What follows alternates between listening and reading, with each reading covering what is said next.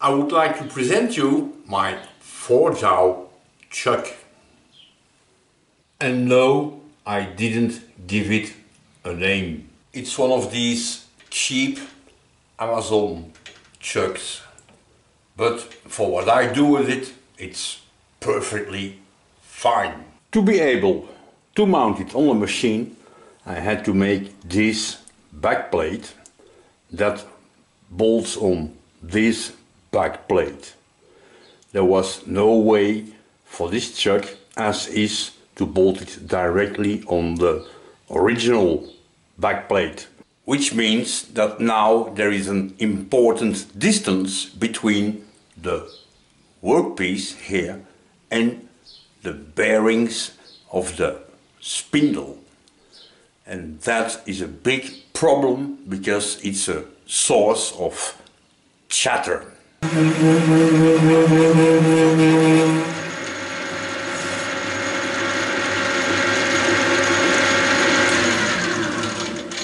I think that was clear. If I could bring the chuck closer to the spindle bearing, there will be more support and will be, of course, more stable. So, let's take all this Zwick apart and see what we can do about it. And here it is, in pieces. If I measure the distance between the table, is of course the jaws, this on the table, yeah, and the resistor ring that goes on the spindle, here I have uh, uh, 160 millimeter, six inch and uh, something, uh, some change. On the three jaw,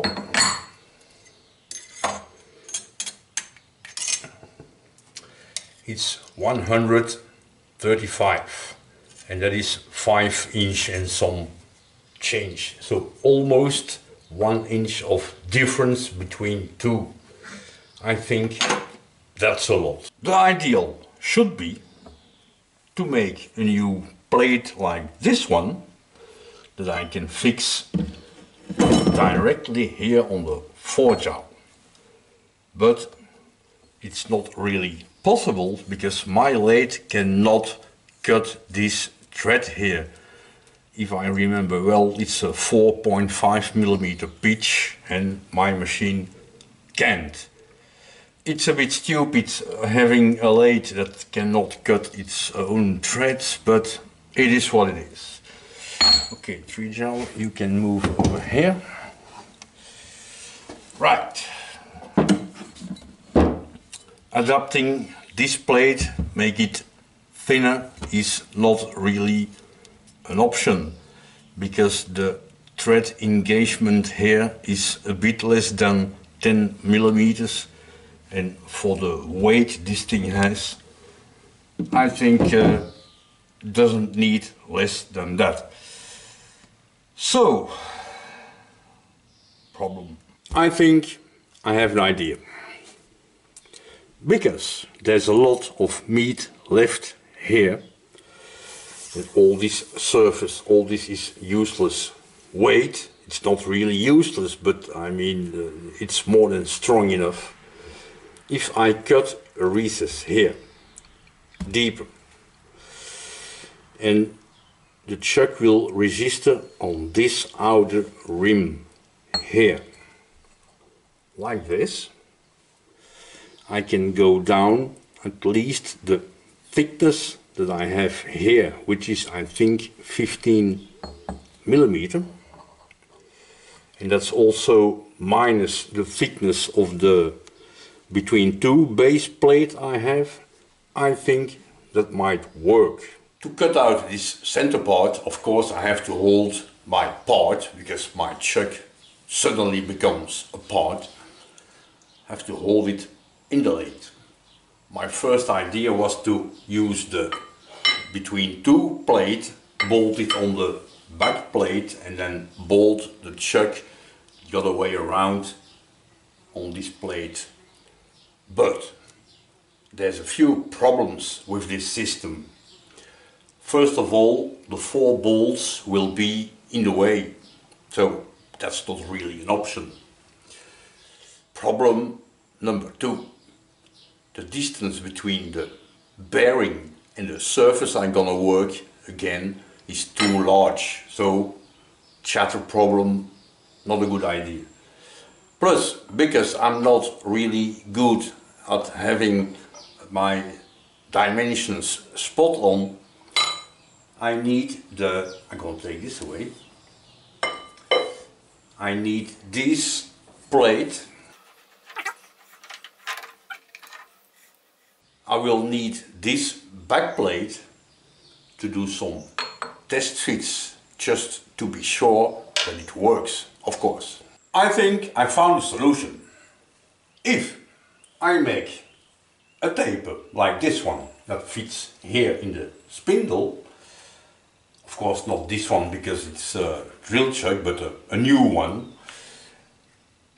put it in, hold in place with the drawbar, that could work, no problem.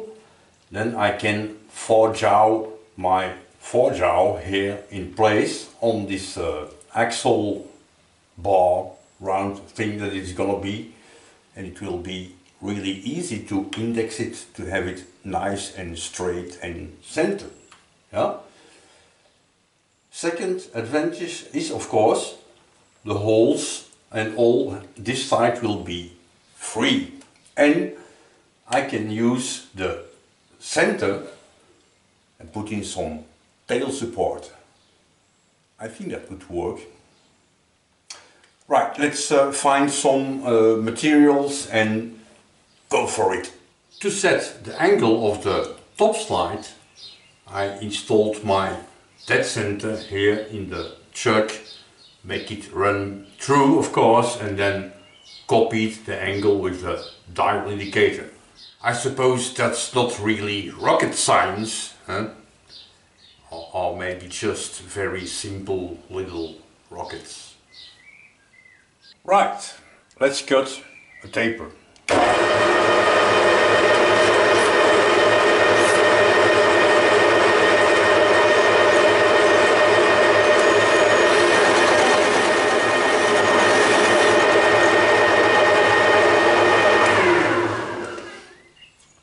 It needs more speed.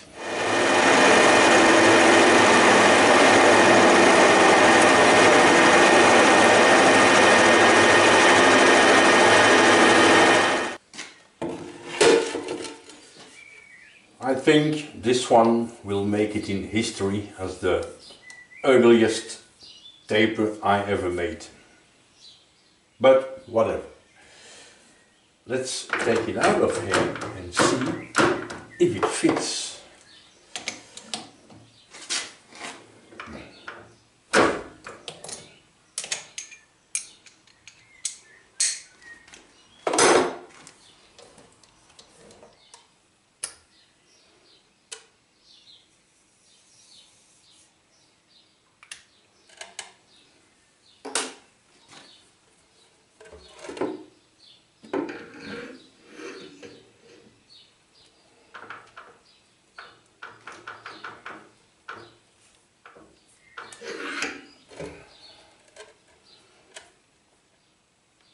It doesn't look too bad. Touching more here than here.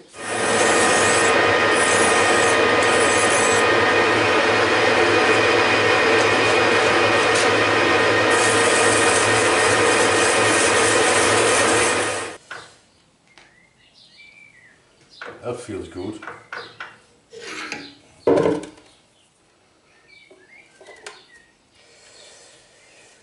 You can see on camera, but I can see in real life it's touching here and here for a large spot and here a little and here and here.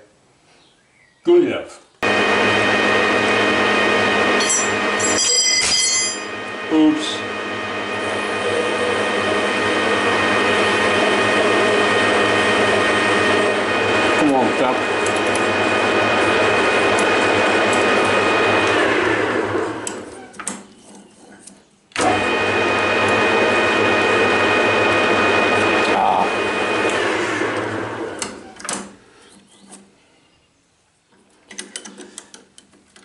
Okay, let's break out the tap wrench. Having all this nice equipment here and then tapping by hand. Hmm. That's primitive. Let's install.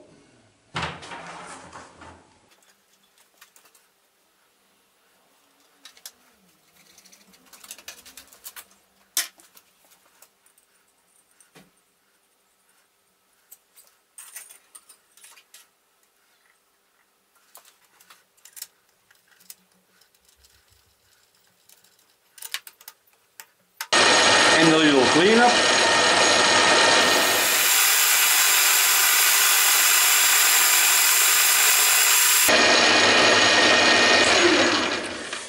I'm gonna have to change cutting tool because the carriage is gonna bump here in the headstock and I have to clean up this little piece left here.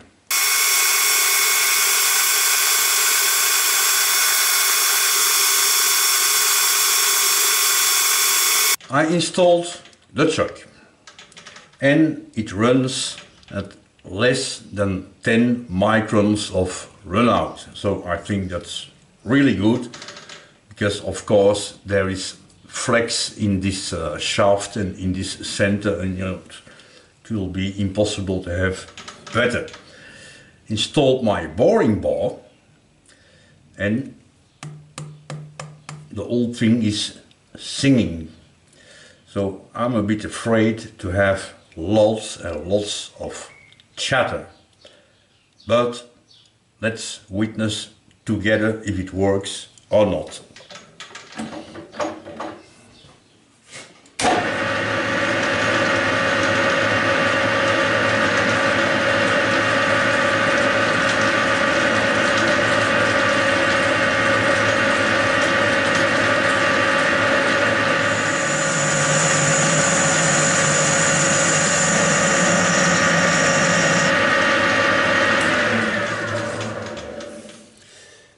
Think that's looking good.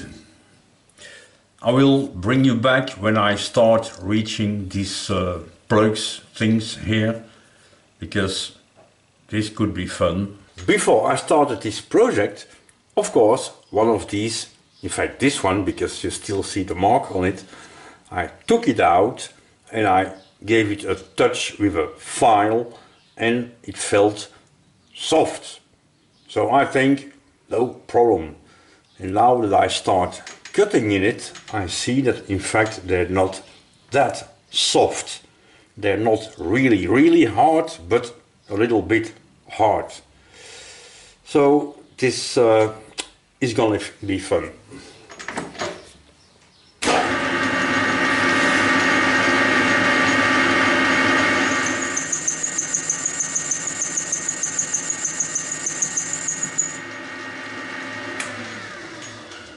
That hurt my ears.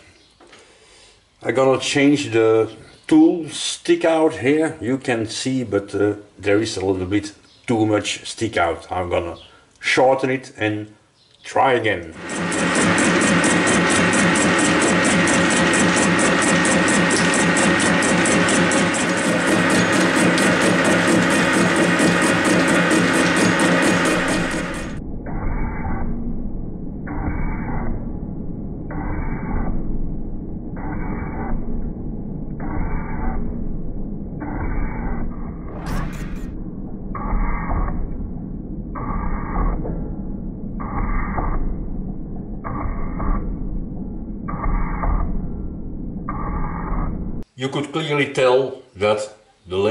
and the insert were not very happy with the treatment I gave them, but of course I didn't ask for their opinion.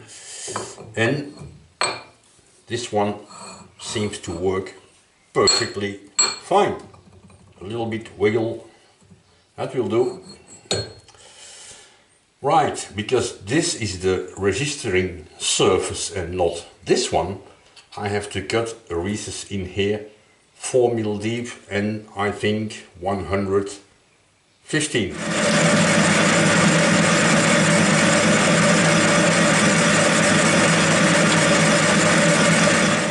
because of this shaft here is in the way, the only way I could come up with to take measurements is like this. Now, it's a bit sketchy and I'm pretty sure if Stefan in Germany watch this video it will be the very last time he watches one of my videos. It looks like I have six tenths to go.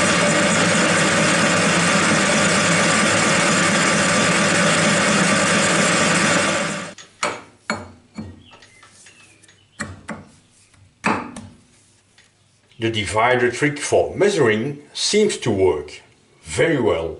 Even so well that the fit is so perfect that I can't get out anymore.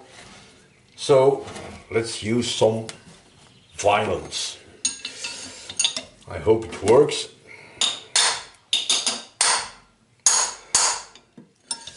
Hardly.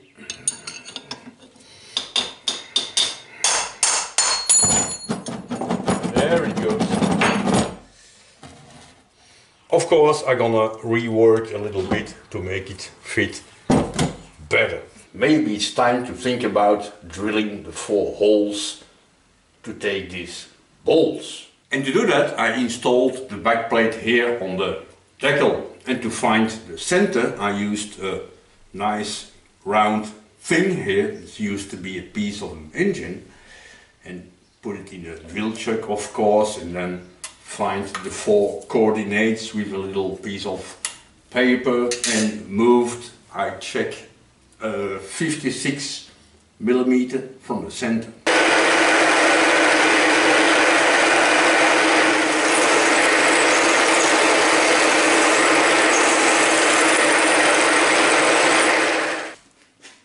I don't know what steel this is, but it's hard stuff, I'm telling you.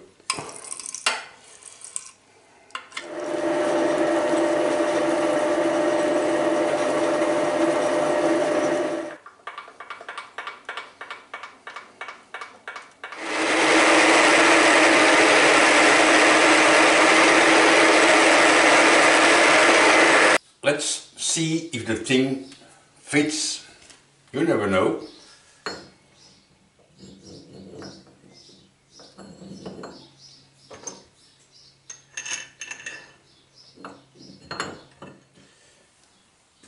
Every time I have to make these bold patterns on whatever kind of pattern, whatever kind of part, there's always at least one bolt that a little bit nerve. I don't know why, but it always happens. But it seems to work.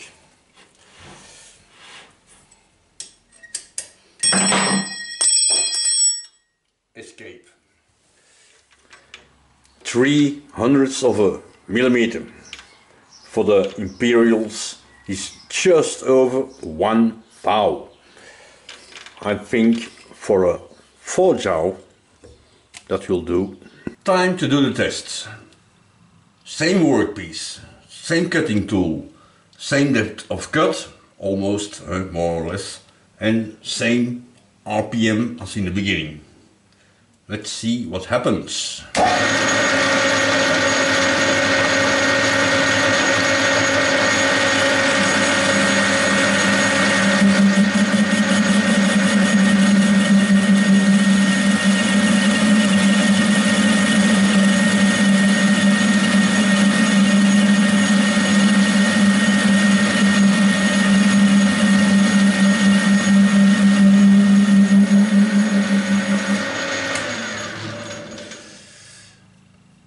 Still makes some chatter, but way less than in the beginning. That's for sure. Of course, I need to play a little bit more with this new setup, but I think it looks promising. I'm convinced it was a good idea. The problem is now what to do with this thing.